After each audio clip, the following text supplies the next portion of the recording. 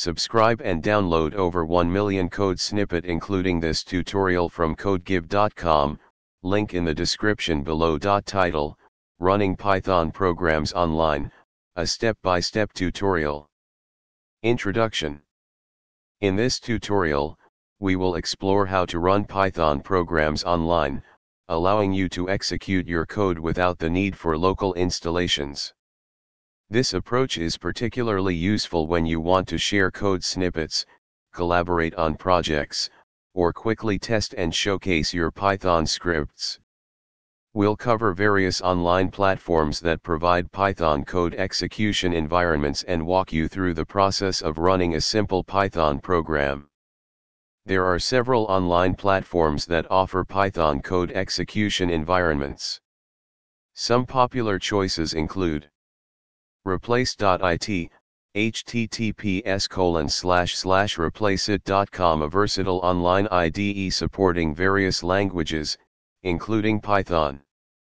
Google Colab, https colon slash slash colab.research.google.com a cloud-based Jupyter notebook environment, ideal for data science and machine learning.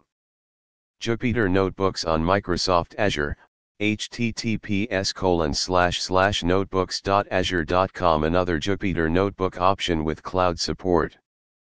For this tutorial, we will use Repl.it due to its simplicity and wide language support. Some platforms may require you to create an account. In our example, Repl.it allows you to code without an account, but having one can provide additional features like saving your work.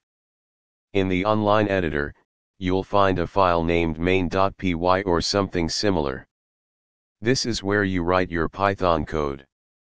If you want to share your code or collaborate with others, you can share the URL of your replace. Others can open the link and view or modify the code collaboratively. Running Python programs online is a convenient way to code without worrying about installations. Whether you're a beginner testing snippets or a seasoned developer collaborating on a project, online Python interpreters provide a hassle-free environment for coding and sharing. Explore different platforms and choose the one that best suits your needs. ChatGPT